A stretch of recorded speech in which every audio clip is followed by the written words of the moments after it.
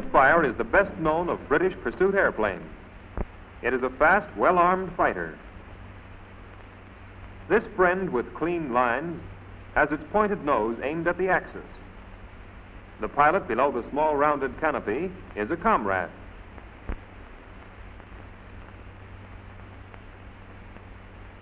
The short rounded tail is seldom turned to the enemy.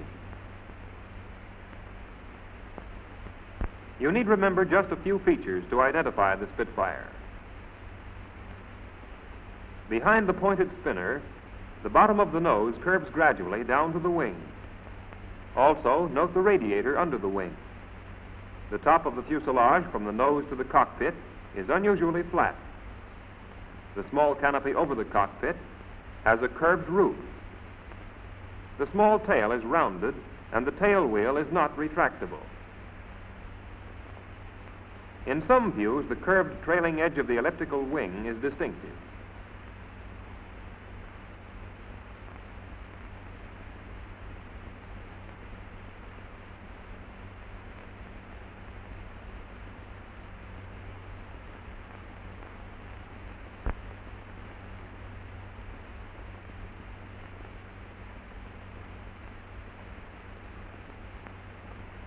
Here's a final view of the side.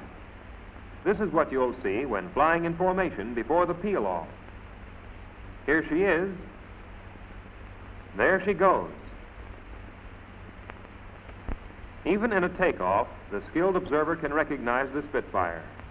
The dihedral of the low wing and the radiator give the Spitfire away. If a Spitfire comes at you, you'll know it by the radiator. So let's stop the Spitfire and look at its radiator.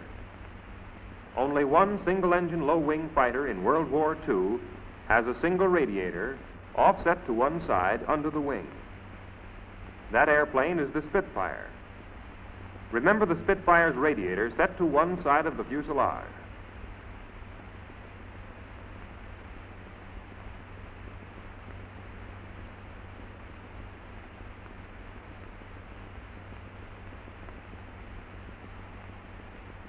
When we turn the Spitfire loose again, watch for the radiator.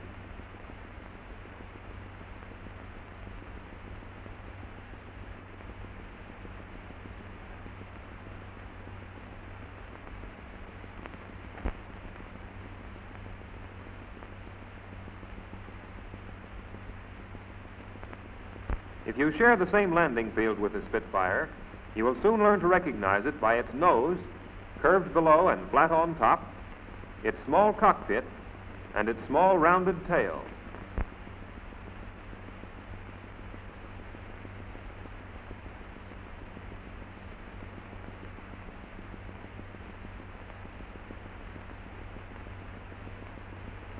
The radiator will also prove helpful in remembering your friend, the British Spitfire, nicknamed the Spit.